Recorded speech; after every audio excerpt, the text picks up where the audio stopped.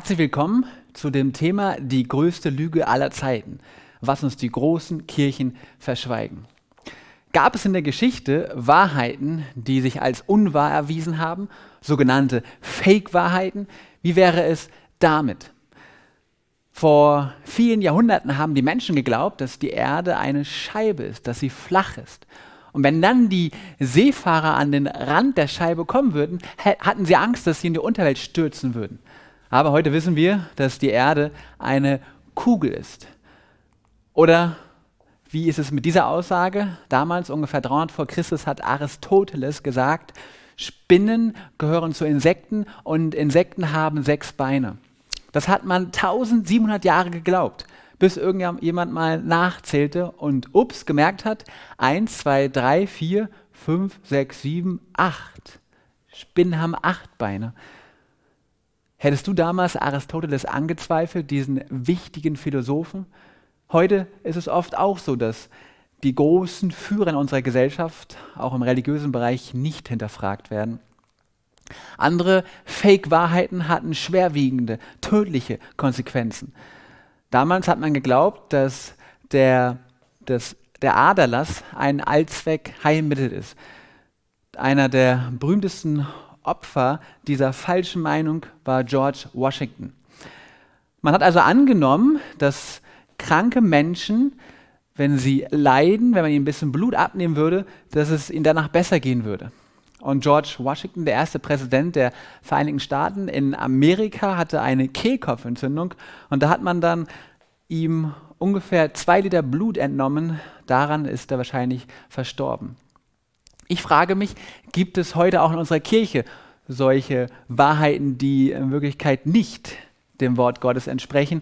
Fake-Wahrheiten. Ist es möglich, dass durch die Hintertür sich falsche Wahrheiten in unsere Kirchen hineingeschlichen haben? Gibt es da vielleicht Traditionen, an denen wir krampfhaft festhalten, wovon wir überzeugt sind, das ist so wichtig und naja, äh, Gott ist davon auch überzeugt, und wir hinterprüfen das nicht, wir hinterfragen das nicht und wir merken, das entspricht gar nicht dem Wort Gottes. Warum auch? Schließlich haben die großen Kirchen diese oder jene Tradition schon viele Jahrhunderte und Jahrtausende gelehrt. Kann es auch heute so eine falsche Tradition geben? Das Buch der Bücher, die Bibel, die Offenbarung spricht von dem großen Verführer aller Zeiten, den Teufel. Er liebt es, die Menschen zu verführen und in den Tod zu reißen. Die Bibel sagt in Offenbarung 12, Vers 9, und so wurde der große Drache niedergeworfen, die alte Schlange, genannt der Teufel und der Satan, der den ganzen Erdkreis verführt. Wie wird Satan hier beschrieben? Als Verführer, der den ganzen Erdkreis mitreißt. Wir wissen auch, dass Satan ein Drittel aller Engel im Himmel verführt hat. Er sagte den Engeln, ihr müsst Gott nicht mehr gehorchen. Folgt einfach mir nach und dann werde ich euch glücklich machen. Er, Satan, sagt das Wort Gottes hier, wurde auf die Erde hinabgeworfen und seine Engel wurden mit ihm da hinabgestoßen. Es gibt einen großen Kampf. Laut Offenbarung Kapitel 12, Vers 4 hat Satan, der große Verführer, diesen dritten Teil der Engel verführt. Das waren Lebewesen, die niemals in Sünde gefallen waren. Lebewesen, die immer in der Gegenwart Gottes waren. Lebewesen, die Gott immer treu waren. Wenn Satan einen dritten Teil der Engel verführen kann, wie viel mehr kann er mich und dich heute auch verführen, oder?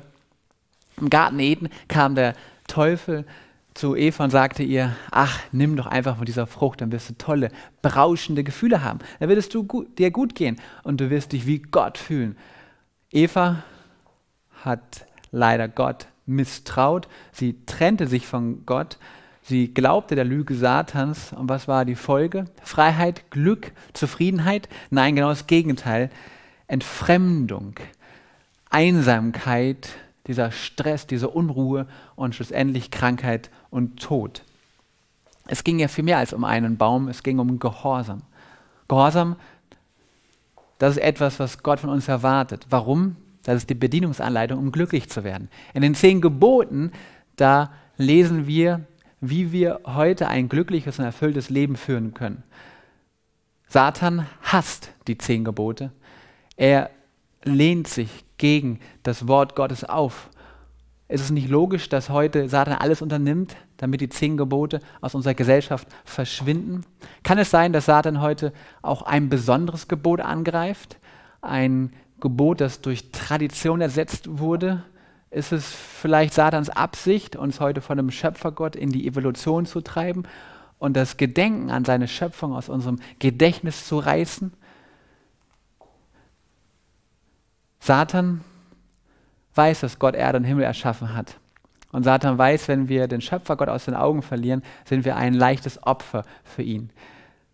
Ganz am Anfang in der Schöpfung hat Gott den Sabbattag eingesetzt, als Zeichen der Erinnerung, als ein Tag der Anbetung. In 1. Mose Kapitel 2, Vers 3 lesen wir, Gott segnete den siebten Tag, heiligte ihn und ruhte an diesem Tag. In Ezekiel 20, Vers 12, da lesen wir davon, dass der Sabbat ein Zeichen ist zwischen Gott und den Menschen ein ewiges, gültiges Zeichen. Dieser Sabbat wurde von Gott eigenhändig auf die Steintafeln geschrieben und dieser Sabbat erinnert uns an die Schöpfung, daran, dass Gott uns liebt. Und Satan hasst dieses Zeichen. Satan möchte diesen Tag verbannen aus unserem Gedächtnis.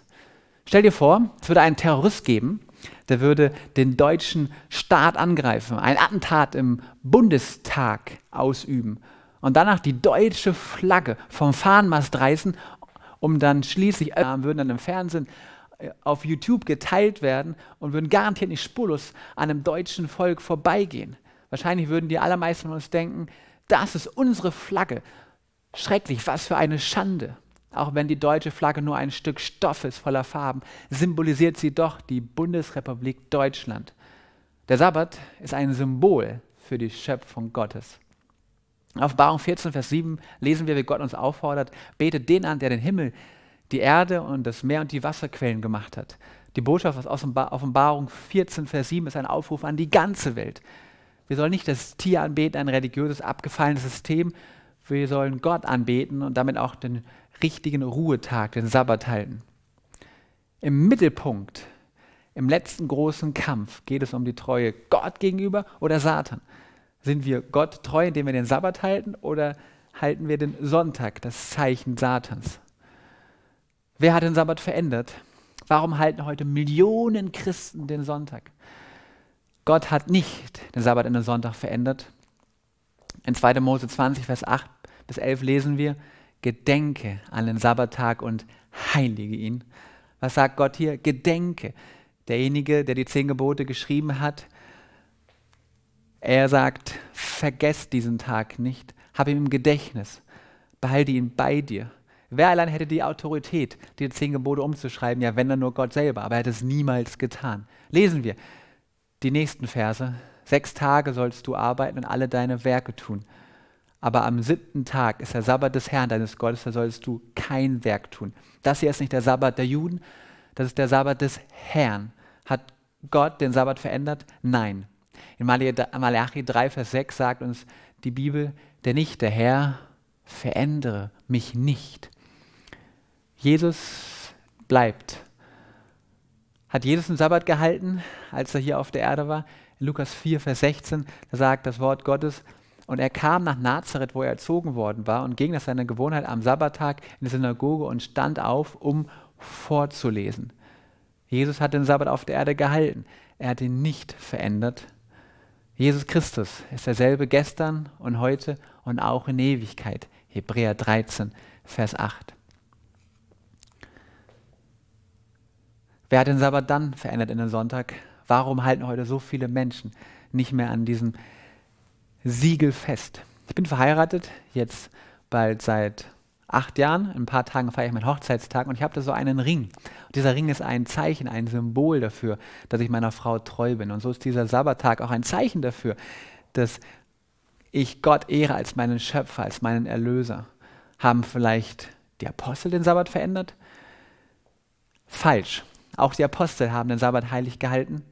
An einem Sabbat da lesen wir in Apostelgeschichte 13, Vers 44, da hat Paulus zu der ganzen Stadt gepredigt. Immer wieder lesen wir, wie in der Apostelgeschichte die ersten Christen insgesamt 84 Mal den Sabbat heilig gehalten haben. Eine gläubige Katholikin kam einmal zu mir und sagte, Daniel, haben nicht sich die ersten Christen auch an einem Sonntag getroffen? Natürlich, und da gibt es diesen äh, Text in Apostelgeschichte 20, Vers 7. Da treffen sie sich tatsächlich so könnte man das lesen, hier an einem Sonntag. Aber ist das jetzt ein Beweis, ein Grund dafür, dass wir von nun an immer den Sonntag heilig halten sollten, nur weil sich die Christen irgendwann mal einmal an einem Sonntag getroffen haben? Und übrigens, da gibt es ja noch andere Texte in Apostelgeschichte 2, Vers 46, da lesen wir, dass sich die ersten Christen an jedem Tag der Woche getroffen haben. Halten wir heute jeden Tag heilig? Nein. Natürlich ist unser ganzes Leben ein Gottesdienst, aber Gott hat uns einen Tag gegeben, den siebten Tag. Diesen Tag sollen wir ihn ehren, diesen Tag sollen wir heiligen und in der tiefen Beziehung mit ihm auftanken. In Apostelgeschichte 5, Vers 29 sagen die Apostel und Petrus, man muss Gott mehr gehorchen als den Menschen. Die Frage ist heute, mein Freund, wem möchtest du mehr gehorchen?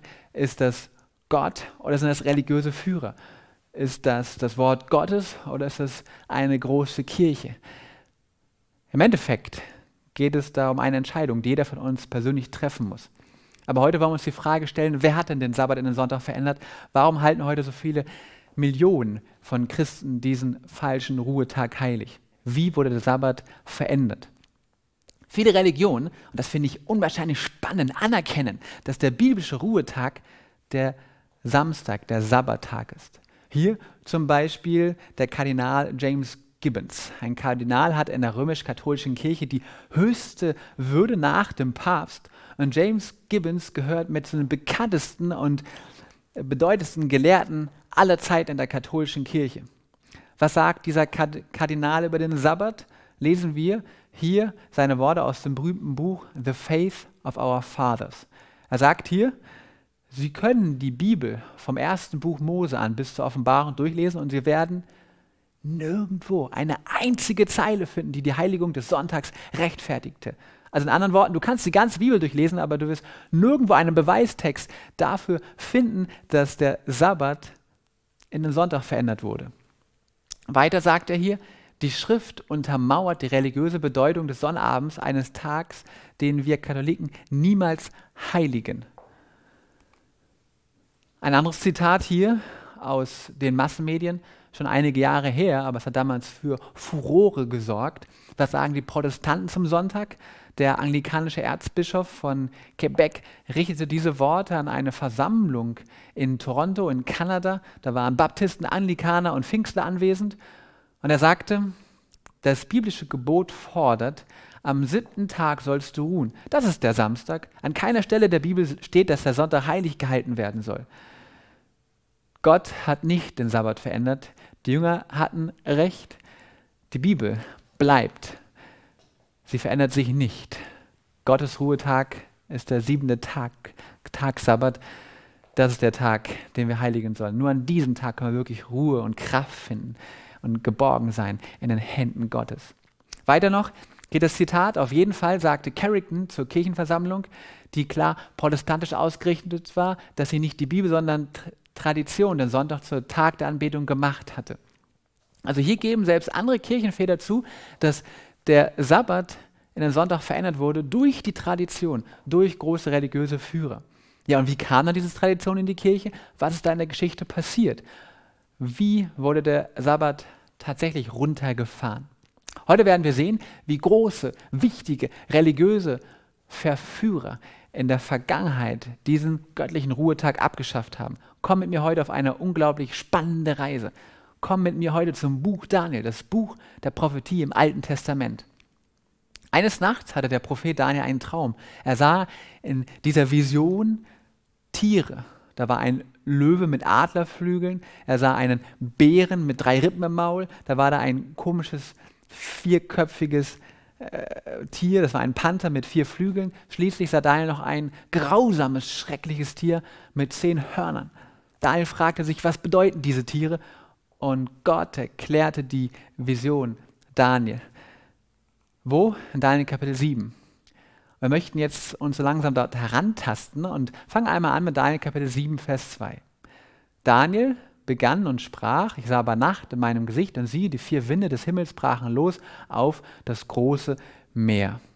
Hier haben wir eine Vision, das ist Prophetie und die Bibel legt sich selber aus. In anderen Worten müssen also jetzt die Symbole in der Bibel finden und schauen, wofür stehen sie. Wichtig ist erstmal, was bedeutet hier Wind? Was ist die Bedeutung von Wind? In Jeremia 49, die Vers 36 und 37 steht Wind für Unheil und Krieg. Wäre ein Hurricane, der zerstört, ein Tornado, der Unheil anrichtet. Wind bedeutet also Unheil oder Krieg. Und was ist mit dem Meer? In Offenbarung 17, Vers 15 lesen wir, die Wasser, die du gesehen hast, das sind Völker. Das Meer steht also für Völker. In anderen Worten hier, hier ist Unheil und Krieg unter den Menschen, unter den Völkern. Und daraus entstehen dann die vier Tiere. Was sind die Tiere? Wir lesen erstmal noch Daniel 7, Vers 3. Und vier große Tiere stiegen aus dem Meer empor, jedes verschieden vom anderen. Wofür stehen Tiere in der Bibel, in der Prophetie? Jene große Tiere, vier an der Zahl, bedeuten, dass vier Könige sich aus dem Erdreich, aus der Erde erheben werden. Also die Tiere, das sind Königreiche, Weltmächte. Er sprach, Daniel 7, Vers 23, das vierte Tier bedeutet ein viertes Königreich, das auf Erden sein wird. In anderen Worten hier haben wir vier Königreiche, vier Weltmächte, die hintereinander aufstehen und uns die Geschichte zeigt. Daniel wurde ein Ausblick gegeben über die Zukunft. Und heute können wir, da haben wir einen Vorteil, zurückschauen und sehen, ob sich das alles so in der Geschichte tatsächlich erfüllt hat. Vielleicht kannst du dich noch erinnern an den allerersten Vortrag, das erste Thema, das wir uns angeguckt hatten, die Bibel und der Zerfall der Europäischen Union. Du kannst ja gerne noch mal reinschauen. Da haben wir Daniel Kapitel 2 studiert. Da hatte der König Nebuchadnezzar einen Traum, also ein Standbild, das wurde zerstört. Und dieses Standbild, vielleicht kannst du dich noch ran, daran noch erinnern, hatte verschiedene Metalle.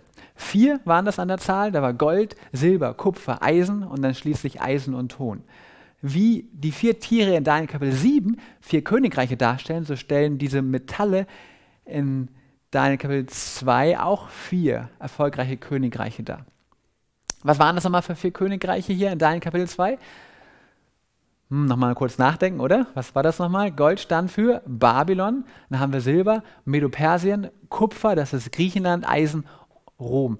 Und hier haben wir Daniel 7 den genau gleichen, die gleiche Abfolge der Königreiche. Da haben wir Babylon, das ist der Löwe, Medo-Persien, der Bär, Griechenland, der Panther und schließlich Rom, dieses schreckliche, grausame Tier. Fangen wir an, und das ist wirklich spannend zu sehen, wie hier die Bibel passende Symbole auswählt für die Geschichte. Der Löwe mit den Adlerflügeln, das ist Babylon. Hast du schon mal so einen Löwen gesehen? Ich habe Safari gemacht. Das war in Kenia, Masai Mara, und dann haben wir so einen Löwen. Also da waren wir ziemlich nah dran, so vier, fünf Meter. Und aus dem Auto konnte ich dann gewaltige Fotos machen. Ein Löwe, das ist der König der Tiere. Als die Archäologen die Ruinen von Babylon ausgegraben haben, gab es da den deutschen Archäologen mit dem Namen Robert Caldaway und der hat die Mauern von Babylon freigelegt. Da waren zu sehen Löwen mit Adlerflügeln. Was ist doch genau das biblische Symbol für Babylon. Heute haben wir doch auch manchmal Tiere, die Nationen symbolisieren, oder? Welches Tier ist auf unserem Bundeswappen in Deutschland abgebildet? Das ist ein Adler. Kommen wir zu Medo-Persien. Der Bär ist auf einer Seite aufgerichtet, er hat drei Rippen in seinem Maul. Was bedeuten diese Symbole? Medo-Persien, ein Doppelreich, die Meder und die Perser. Die Perser haben die Meder dominiert. Die drei Königreiche, beziehungsweise die drei Rippen sind drei Königreiche, die die Medo-Perser besiegt haben. Also Libyen, Ägypten und Babylon. Dann haben wir noch Griechenland. Wer war der Führer der Griechen? Ja klar, kennen wir alle. Alexander der Große. Wie alt war Alexander der Große, als er die Welt erobert hat? 33 Jahre. Ich meine, ich bin jetzt 35 Jahre. Schon, ja, ich habe das meiste in meinem Leben noch vor mir. Mit 33 Jahren hat dieser Mann ja, die damals bekannte, den größten Teil der Welt erobert. Er hat das in einem wahnsinnig schnellen Tempo gemacht. Und welches Tier würdest du nehmen, um das zu zeigen in der biblischen Prophetie? Natürlich ein Panther. Aber ein Panther, der noch vier Flügel hat, ist noch schneller. Genau das hat Gott hier so dargestellt. Aber Moment mal, was war das dann mit den vier Köpfen? Der Panther hatte wie viele Köpfe? Vier. Als Alexander im jungen Alter von 33 Jahren starb, sagten sich die vier Generäle, warum sollen wir untereinander kämpfen? Wir werden einfach das Reich aufteilen. Das war Ptolemaeus, Lycosomachus, Seleukus und Kassander. So wurde das griechische Reich in vier Bereiche unterteilt. Genauso wie es die Bibel vorausgesagt hat. Unglaublich. Babylon, Medo-Persien, Griechenland. Und jetzt kommt das vierte Tier. Daniel Kapitel 7, Vers 7. Nach diesem sah ich in den Nachtgesichten und siehe ein viertes Tier, furchterregend, schrecklich und außerordentlich stark.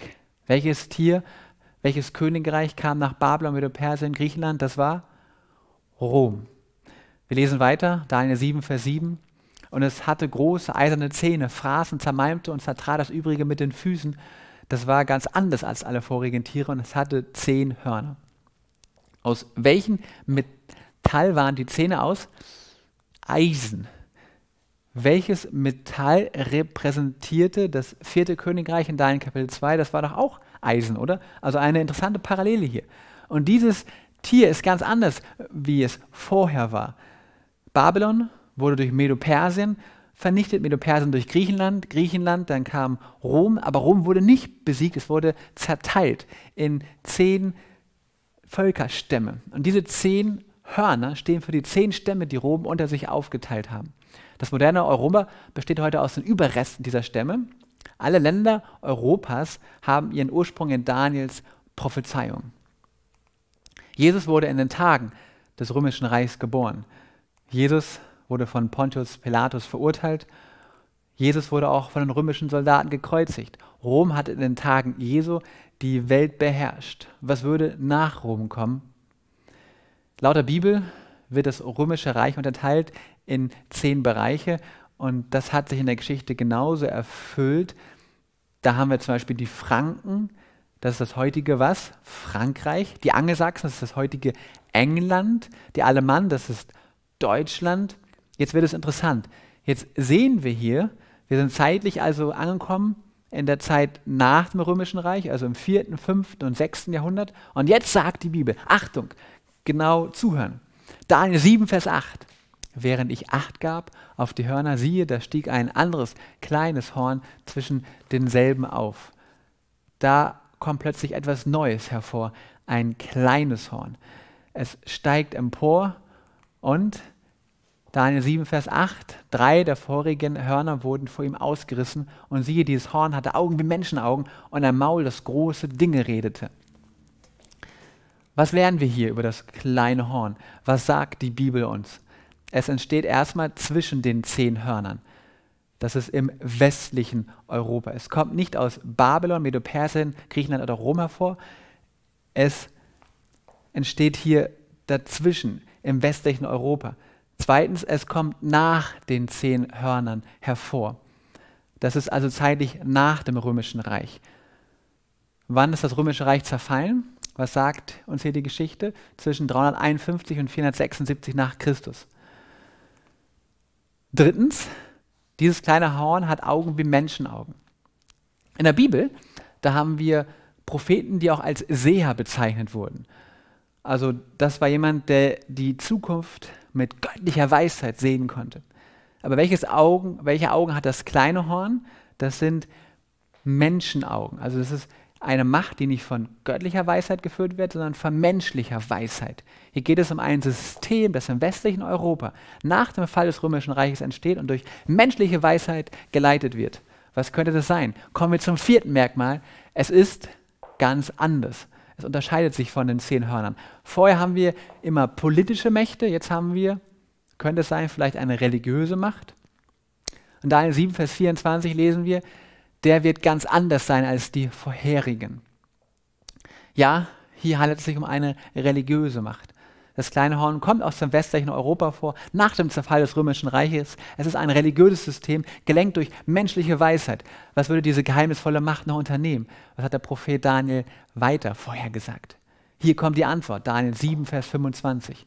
Und er, das kleine Horn, wird freche Reden gegen den Höchsten führen und die Heiligen des Allerhöchsten aufreiben und er wird danach trachten, Zeiten und Gesetz zu ändern. Was sagt die Bibel hier? Dieses kleine Horn wird Gott lästern. Was bedeutet das? Laut Lukas Kapitel 5, die Verse 20 bis 24 ist Gott lästern vorzugeben oder zu meinen oder auch danach zu handeln, ich kann Sünden vergeben. Und Johannes Kapitel 10, die Verse 30 bis 33, Lästerung bedeutet auch zweitens zu sagen, ich bin Gott. Ich bin der Messias oder der Stellvertreter Gottes auf Erden. Was macht das kleine Horn noch? Es verfolgt die Heiligen, also die Gläubigen, und es greift was an? Es wird was versuchen? Zeiten und Gesetz zu ändern. Aha, hier kommen wir zu einem ganz wichtigen Punkt. Das kleine Horn verändert das Gesetz Gottes und Zeitpunkte. Es gibt das göttliche Gesetz, die zehn Gebote. Und in einem der zehn Gebote haben wir diese göttliche Festzeit. Welches Gebot ist das? Das ist doch das Sabbatgebot, das vierte Gebot. Satan wollte schon immer die zehn Gebote verändern. Und er hat aber sein besonderes Augenmerk auf das vierte Gebot gelegt, auf das Sabbatgebot. Diese Macht hat durch die Kraft und Autorität Satans das vierte Gebot verändert, einfach abgeschafft. Ja, und wie ist dann diese Täuschung in die Geschichte der Kirchen eingedrungen? Wie wurde der Sabbat in den Sonntag verändert? Die Veränderung kam heimlich, schrittweise, nicht über Nacht.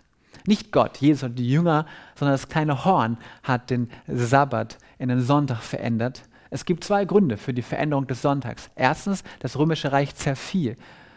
Die Römer hassten die Juden. Die Juden haben sich gleichzeitig natürlich auch gegen die Römer aufgelehnt und die Römer verfolgten die Juden. Auch die christlichen Oberhäupter wollten sich schrittweise immer mehr von den Juden distanzieren. Am Anfang hielten die Juden und den Christen zusammen den biblischen Sabbat, den Anbetungstag. Zu verändern war aber dann eine Möglichkeit, dass sich die Christen von den Juden unterscheiden konnten. So beginnen die Christen einfach damit so langsam im zweiten Jahrhundert nach Christus neben dem Sabbat auch den Sonntag zu halten, um sich von den Juden zu distanzieren. Und gleichzeitig sagten sie noch, das ist ein Grund, wir möchten hier so eine Feier einführen, das ist die Feier der Auferstehung Jesu. Zweitens, wenn wir uns die Geschichte anschauen, war der Sonntag in vielen Kulturen der Tag der Anbetung. Die Ägypter haben Sonnengut, Sonnengott Amun-Re angebetet. Auch ihre Pyramiden erhoben sich der Sonne entgegen. Die Babylonier haben den Sonnengott Bel-Marduk gehabt und die Perser hatten auch ihren Sonnengott, das war Mitra. Schließlich die Römer, sie haben auch ihre Sonnengötter verehrt. Als dann der heidnische römische Kaiser Konstantin im 4. Jahrhundert Angst davor hatte, dass sein römisches Reich zerfiel, wollte er irgendetwas dagegen unternehmen. Konstantin versuchte alles, um sein Reich wieder zu vereinen. In dieser Zeit war Konstantin auch Christ geworden, überlegte sich, hm, wie können wir die Heiden wieder zurückgewinnen für das Christentum? Wie wäre es, sagt er sich, ähm, wenn wir nicht den Sonntag bewusst einführen würden als Feier zur Auferstehung Jesu? Naja, dann könnten wir ein bisschen mehr Ruhe im Reich haben. Das würde auch dann das Christentum attraktiver machen für die Heiden. Warum wurde der Sonntag eingeführt und der Sabbat verändert? Zwei Gründe. Erstens, die Christen wollten sich von den Juden distanzieren, weil sie nicht verfolgt werden wollten. Und zweitens, um die Heiden zu missionieren. Hier ein Auszug aus einem wichtigen Bibellexikon hier sagt John Eddy, der Sabbat, ein hebräisches Wort, das Ruhe bedeutet. Dem Sonntag wurde sein Name von den Heiden als dem ersten Tag der Woche gegeben, weil es der Tag war, an dem sie die Sonne anbeteten. Sonntag, der Tag der Anbetung der Sonne, der falsche Ruhetag. Schließlich wurde dann 321 nach Christus von Konstantin das erste Sonntagsgesetz, das wir so in der Geschichte haben, das da wirklich alles verändert hat, eingeführt am ehrwürdigen Tag der Sonne lasst die Staatsbeamten und das Volk, das in den Städten wohnt, ruhen und lasst alle Geschäfte geschlossen sein. So hat Konstantin die Sonntagsheiligung angeordnet. Dieses Foto hier zeigt eines seiner Münzen. Auf der einen Seite ist Konstantin, auf der anderen Seite ist Konstantin hier derjenige, der unter der Autorität des Sonnengottes steht. Ja, man ist damals Kompromisse eingegangen und wollte die Heiden zurückgewinnen und sich klar von den Juden distanzieren. Und so hat man einen falschen Ruhetag in die Kirche eingeführt. Hier ist Mark Finley, ein christlicher Pastor. Er ist in der katholischen Kirche aufgewachsen. Von klein auf wurde Mark von den Priestern unterrichtet und in der fünften Klasse bereits hat er die Worte für die katholische Messe im Lateinischen auswendig gelernt. Mark ging gerne in die katholische Kirche, fühlte sich dort wohl, aber als er 17 Jahre alt war, fragte er sich, kann es sein, dass die katholische Kirche falsch liegt? Ist es möglich, dass in der katholischen Kirche Tradition hineingekommen ist, ein falscher Tag der Anbetung und möchte Gott mich nicht zurückrufen zu seinem Wort Gottes, zu den zehn Geboten, zu dem Ruhetag, zum heiligen Sabbat? Umso mehr Mark die Bibel studierte, desto klarer wurde ihm, dass es fiel wie Schuppen von den Augen. Der biblische Ruhetag, das ist der Sabbat, der siebte Tag der Woche. Mark war am Kämpfen, schockiert und er überlegte sich, kann ich, darf ich jetzt aus der römisch-katholischen Kirche austreten? Ist das Gottes Wille für mein Leben? Und er hat weiter studiert. Er hat wichtige Bücher gelesen.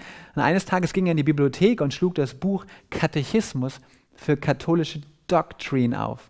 Dieses Buch wird wurde, wurde viele Jahre in der katholischen Kirche verwendet. Das ist also so ein Katechismus der katholischen Lehre für gläubige Katholiken. Da las Mark auf Seite 50 folgende Worte.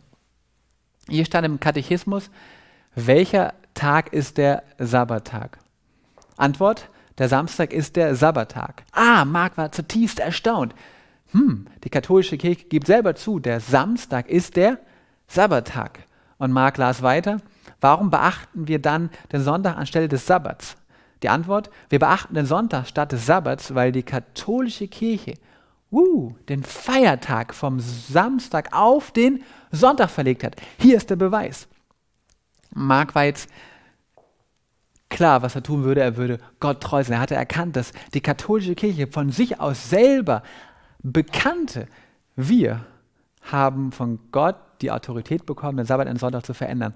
Aber nein, das widerspricht dem Wort Gottes. Und Mark hat gesagt, wenn die katholische Kirche hier bewusst einen, eine Irrlehre akzeptiert, glaubt, vertritt und weitergibt, dann kann ich mit dem System nicht weiterfahren. Und Mark ist dann ausgetreten aus der katholischen Kirche, ließ sich taufen, wurde später Pastor, ein berühmter Evangelist. Und Mark Finlay hat Tausende, Hunderttausende Menschen zu Jesus Christus geführt. Mark las auch folgende Worte die Kirche hat, nachdem sie den Ruhetag vom jüdischen Sabbat oder siebten Tag der Woche auf den ersten Tag verlegte, das dritte Gebot dahingehend verändert, dass der Sonntag der Tag ist, den man als den Tag des Herrn Heiligen zu halten hat. Also erstmal hier, es ist ja nicht der jüdische Sabbat, das haben wir vorhin schon mal herausgefunden, ganz am Anfang. Der Sabbat ist der Tag des Herrn und nicht nur ein Tag für die Juden. Was sagt die Kirche hier? Ja, wir haben den Sabbattag verändert.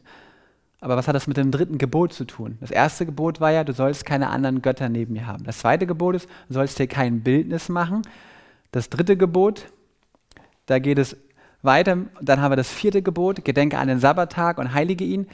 Warum spricht hier die katholische Enzyklopädie vom dritten Gebot? Weil die Kirche danach getrachtet hat, Zeiten und Gesetz zu verändern. Was in der Geschichte passiert? Bevor die Heiden in die Kirche kamen, war es üblich, dass sie Bilder angebetet haben. So dachten sich die katholischen Führer, äh, wie wäre es, wenn wir einfach ein Auge zudrücken würden und äh, lass es doch uns einfach so gestalten, dass wir es so einfach machen wie möglich für die Heiden, damit sie in unsere Kirche kommen.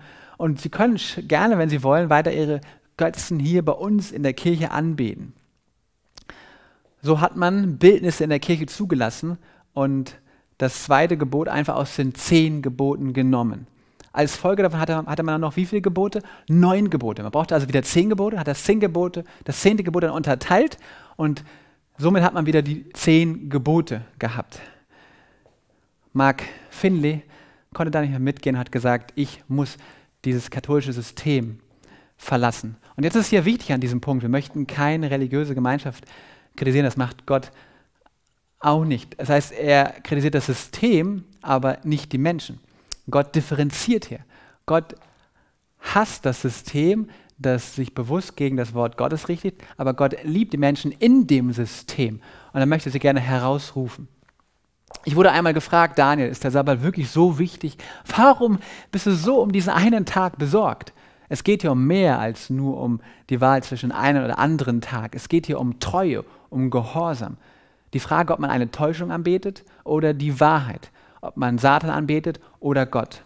Die große Frage ist, wer oder was ist die Grundlage für unseren Glauben? Was ist unser Leitfaden? Was ist unsere Richtschnur? Ist es das Wort Gottes oder ist es die Tradition von Menschen? Was ist für dich heute wichtig? Die Bibel oder Tradition? Ist es das, was Menschen sagen oder das, was Gott sagt? Hier geht es um zwei Tage der Anbetung, um Sabbat oder um Sonntag. Willst du Wahrheit oder Irrlehre in deinem Leben hochhalten, Gottes Segen erhalten oder den Fluch Satan spüren? Wer ist der Herr in deinem Leben? Willst du Kirchenleiter folgen oder Jesus Christus? Wem willst du treu, treu sein? Menschen oder dem Schöpfer? Wenn wir den Sabbat heilig halten, werden wir unglaublich gesegnet. Der Sabbat ist so ein Geschenk Gottes an uns. Er liebt uns so sehr. Und er möchte, dass wir am Sabbattag ruhen. Am Sabbat erhalten wir diese Vitalität, die Lebenskraft, die Energie und diese Freude in Gott. Ich habe das erlebt in meinem Leben. Der Sabbat war für mich als christliches Kind bin ich aufgewachsen oder auch dann groß geworden in der Adventgemeinde, war früher eher so Frust, weil ich damit nicht richtig umgehen konnte. Ich habe die Bedienungsanleitung nie wirklich verstanden und nicht gelesen. Aber dann, wo ich mich Gott ganz hingegeben habe und gesagt habe, Jesus, ich will dir dienen und dir treu sein und den Sabbat so halten, wie du das willst, da war der Sabbattag ein Tag der Freude für mich. Ich konnte runterfahren, eine tolle Zeit mit Gott erleben, habe schöne Erfahrungen mit ihm gemacht und die Natur Gottes genießen können.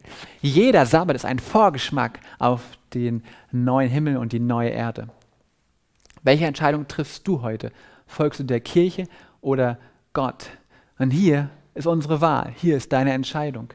Ist es Bibel oder Tradition? Jesus oder religiöse Führe? Göttliches Gesetz oder menschliche Regeln? Wahrheit oder Irrtum? Leben oder Tod? Gottes Weg oder menschlicher Weg? Es ist kein Zufall, dass du heute dir dieses Video angeschaut hast. Gott führt dich, er hat einen Plan für dich und nur er möchte dich und kann dich glücklich machen. Aber das ist wichtig, dass du eine Entscheidung triffst und sagst, Gott, ich möchte dir treu sein. Möchte deine Gebote halten, auch das vierte Gebot, das Sabbatgebot. Dann wirst du seinen Frieden erfahren. Die Bibel sagt in Offenbarung 14, Vers 12, hier ist das standhafte Ausharren der Heiligen. Hier sind die, welche die Gebote Gottes und den Glauben an Jesus bewahren. Jesus sagt, es wird am Ende eine Gruppe von Menschen geben, die wie Abraham, Isaak und Jakob, Jesaja, Jeremia und Hesekiel, wie Johannes, Petrus und Paulus, wie Jesus selber, den Sabbattag geheiligt haben, die die Gebote Gottes hochgehalten haben und den Glauben an Jesus bewahrt haben, willst du auch gerne zu dieser Gruppe gehören, Jesus von ganzem Herzen lieben und ihm alles geben? Das ist einer meiner besten Freunde, Jolt Holmi. Er ist gebürtig ein Ungar, ist aber aufgewachsen in Rumänien. Jolt wurde von seinen christlichen Eltern erzogen und er ging regelmäßig in die Adventgemeinde. Für Jolt war die Adventgemeinde ein Zuhause, das war der Ort, wo er sich wohlfühlte, da hatte er seine Freunde. Als Jolt dann älter wurde, kam irgendwann der Tag der Abschlussprüfung. In Rumänien ist es so, beziehungsweise an deiner Schule damals war das so, dass nach acht Jahren so eine Abschlussprüfung stattfindet. Und um weiter zu einer anderen Schule danach gehen zu können und um zu studieren und so weiter, muss man diese Abschlussprüfung bestehen. Diese letzte Prüfung wurde dann auf einen Sabbattag gelegt. Und Jolt fragte sich, hm, soll ich jetzt an diesem Tag die Prüfung schreiben oder nicht? Möchte ich Gott treu sein oder dem System, was die Gesellschaft erwartet, die Prüfung dann doch schreiben? Aber Jolt war hin und her gerissen, er wusste nicht, was er tun sollte. Und er entschied sich, ich werde die Prüfung am Sabbat schreiben. Er ging hin zu seiner Lehrerin und teilte ihr das mit. Und die Lehrerin war voller Freude und sagte, super, Joel, dass du das machst. Die Jünger haben damals ja auch Ehren am Sabbat ausgerauft. Und auch seine Freunde haben gesagt, du Joel, wir finden das gut, dass du hier ähm, das mit dem Glauben auch nicht so ernst nimmst, dass du da kein Fanatiker bist. Also toll, Joel, dass du die Prüfung mit uns mitschreibst. Und dann verging einige Zeit und dann waren es nur noch zwei Wochen bis zu der Abschlussprüfung. Joel wollte die Prüfung schreiben, aber dann in dieser einen Nacht hatte Joel einen Traum. Er stand dort und guckte in den Himmel und er sah plötzlich eine große Wolke auf sich zukommen. Die kam immer näher. Jesus kam wieder und neben ihm stand ein Bettler und der Bettler war am Jubeln. Er war so froh, endlich Jesus treffen zu können. Aber Joel hatte irgendwie so ein mulmiges Gefühl. Er hatte nicht die Freude des Bettlers in sich, er hatte das Gefühl der tiefen Enttäuschung. Jetzt war sein Leben auf der Erde vorbei. Sein Leben lief in einem Film einfach ab. In ein paar Sekunden von seinem innerlichen Auge sah Joel alle Entscheidungen, die er getroffen hatte. Plötzlich sah er, die Bücher wurden aufgemacht und Jesus fing an, alle Namen aufzurufen. Panik kam in Joel auf. Oh, wie gerne würde er diese Entscheidung und den Sabbat noch rückgängig machen. Er war damals untreu gewesen, aber jetzt ist es zu spät. Doch bevor sein Name gerufen wurde, wachte er auf. Und Joel merkte, Gott sei Dank, es war nur ein Traum. Mein Freund kniete sich nieder in dieser dunklen Nacht und gab sein Leben Jesus Christus und Licht kam in sein Leben. Joel entschied sich, Gott treu zu sein und den Sabbattag heilig zu halten. Er ging daraufhin sofort bei der nächsten Möglichkeit zu seiner Lehrerin und teilte ihr mit, ich werde den Sabbattag heilig halten und die Prüfung nicht schreiben. Die Lehrerin schaute ihn an und sagte, was ist mit dir los? Ähm, stimmt alles oben noch bei dir? Da? Das, ist, das geht gar nicht. Du setzt da dein, deine ganze Zukunft, deine ganze berufliche, äh, deinen Werdegang aufs Spiel. Joel, schreib doch die Prüfung. Was Joel sagte, ich möchte Gott treu sein und ich werde nicht den Sabbattag brechen. Auch die Klassenkameraden lächelten über ihn, verspotteten ihn und lachten ihn aus. Aber Joel hatte diesen inneren Frieden. Er war sich sicher, ich werde Gott treu sein. Dann kam der Tag der Abschlussprüfung und Joel war nicht in der Schule. Er, schrieb, er nahm nicht teil an der Prüfung, sondern er war im Gottesdienst, lobte und preiste Gott. Und er wusste, jetzt war es das erstmal. Er kann nicht weiter zur nächsten Schule gehen, auch nicht studieren. Da war eine ungewisse Zukunft, die vor ihm lag. Und er hatte keine Ahnung, wie es weitergehen würde. Joel ging in, das, ging in das Gebet, wie viele andere Christen, Adventisten damals auch. Denn nicht nur Joel hatte diese bittere Erfahrung gemacht, auch viele andere Adventisten haben, haben, es damals, ähm, haben damals gesagt, dass sie nicht am Sabbat ihre Prüfung schreiben. Joel hat dann mit einigen anderen Kollegen seinen Mut zusammengenommen und drei Monate nach dem Prüfungstag das Kultusministerium angerufen und gefragt, ähm, könnte ich nicht irgendwie die Prüfung nachholen? Aber die Behörden lehnten ab. Joel war am Boden zerstört.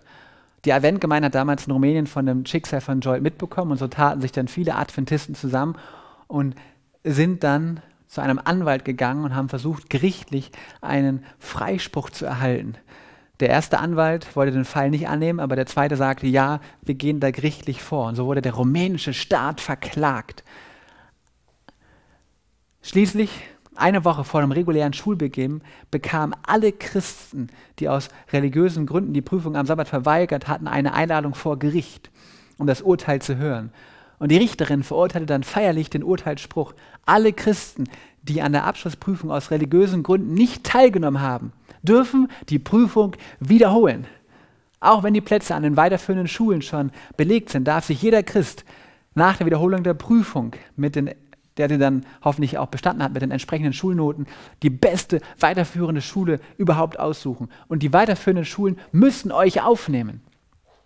Jolt war überglücklich. Er hatte gesehen, dass Gott sein Gebet erhört hatte. Eine ganze Regierung hat seine Meinung geändert. Mehr noch, für die Zukunft dann, von diesem Tag an, waren alle Sabbathalter in Rumänien von sämtlichen Prüfungen am Sabbat befreit. Jolt konnte sein Glück und dieses Wunder kaum fassen. Er dankte und lobte Gott. Ja, und dann kam der Tag der Prüfung. Es war nicht an einem Sabbattag und Jolt hatte die bestmögliche Note, eine 1 plus.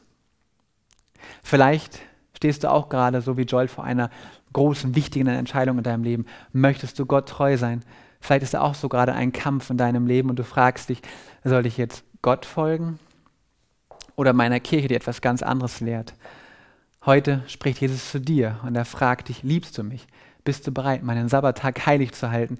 Ist es dein Wunsch, jede Woche mit mir ein Date zu haben, diesen besonderen Tag Urlaub zu genießen, diesen Vorgeschmack auf den Himmel zu erleben? Gott lädt dich ein, den Sabbat zu halten nach seinem Wort. Hier ist die Bedingungsanleitung. Und wenn wir das tun, werden wir gesegnet werden. Vielleicht kämpfst du da gerade in deinem Leben, weil irgendetwas dich abhält, den Sabbat zu halten.